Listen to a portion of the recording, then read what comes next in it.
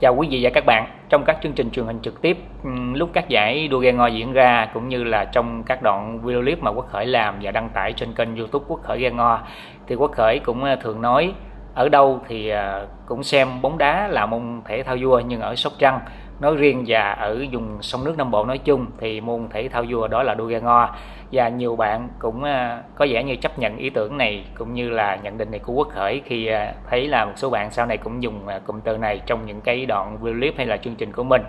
Môn thể thao vua dùng sông nước Nam Bộ, đua ghe ngo và vì sao Quốc Khởi nói như vậy và có lẽ nhiều bạn hưởng ứng như vậy? Các bạn cùng xem một đoạn video clip sau đây của Quốc Khởi sẽ cảm nhận phần nào vì sao đua ghe ngo ở Sóc Trăng cũng như là dùng sông nước Nam Bộ được xem là môn thể thao vua các bạn cùng xem nha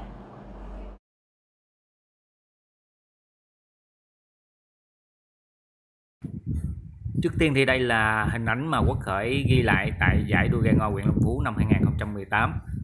Chúng ta cùng chú ý cậu bé trong trang phục màu cam đang được mẹ ẩm trên tay nhé. Đặc biệt là đôi tay của cậu bé.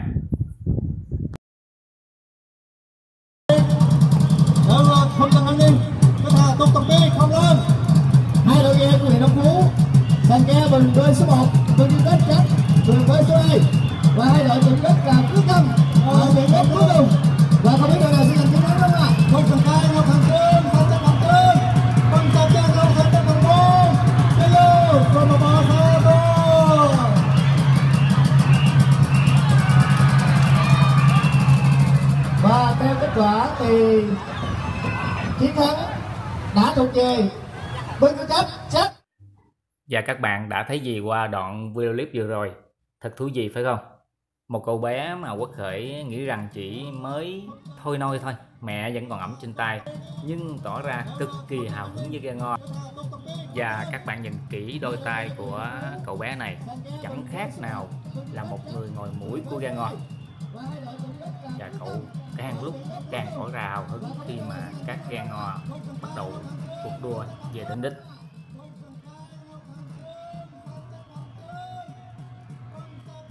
Và các bạn cùng xem động tác của cậu bé này có giống như động tác của người ngồi mũi trên chiếc gan ngò có vận động viên trong phục màu cam hay không? Có nhiều nét rất là tương đồng, phải không các bạn? Niềm đam mê môn thể thao cổ truyền, tố chất của thủ lĩnh, của người ngồi mũi gan ngo bộc lộ ngay khi cậu bé này còn được ẩm trên tay. Và các bạn cùng một lần nữa xem lại đoạn video clip này khi mà quốc khởi làm chậm lại nhé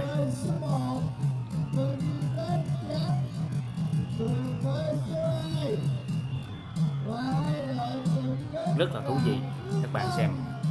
Đôi tay của cậu bé giống như là một người đang ngồi mũi chỉ huy trên ghe ngọt.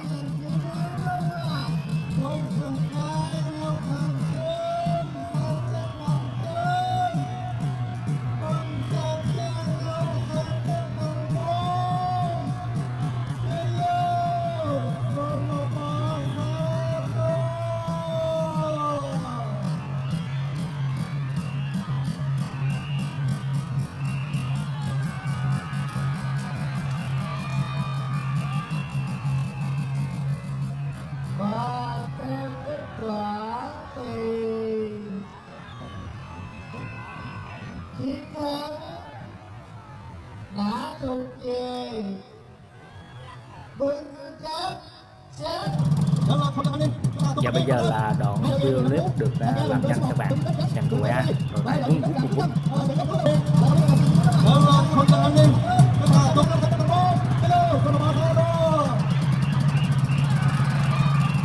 và theo kết quả thì chiến thắng đã thuộc về Bình Chánh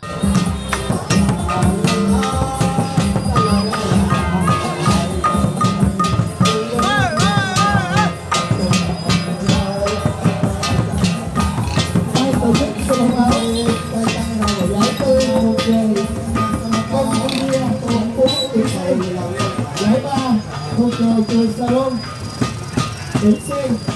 giải nhì trường trung cấp ba lê Nam Bộ tỉnh Sóc Trăng và giải nhất và chuyên cấp thành phố Sóc Trăng và chúng tôi xin cảm ơn các bài đồng chí Nguyễn Công Hùng